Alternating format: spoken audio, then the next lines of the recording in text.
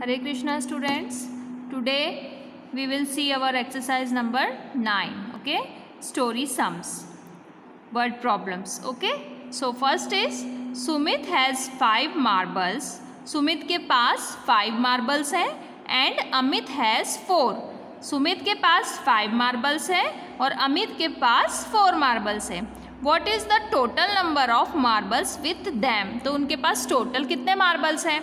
Okay so five plus four हमको total करना है.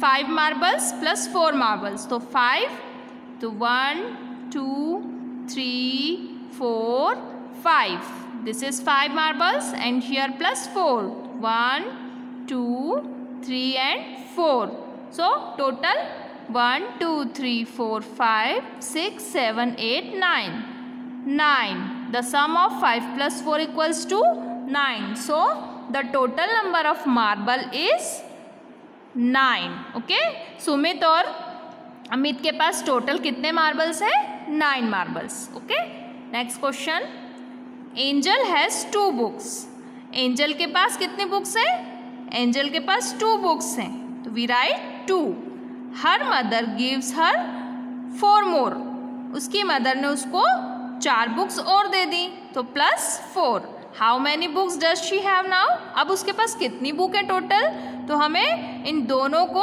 ऐड करना है मतलब सम करना है। तो two plus four two one two plus four one two three four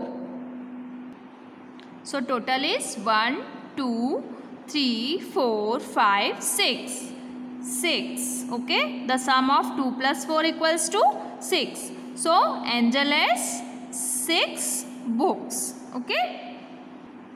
Next question.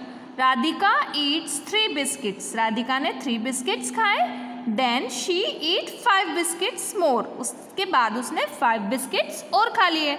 How many biscuits does she eat in all? तो उसने टोटल कितने बिस्किट खाए तो three we add this three biscuits plus five biscuits three plus five so three one two three plus five one two three four five total one two three four five six seven eight total उसने कितने biscuits खाए?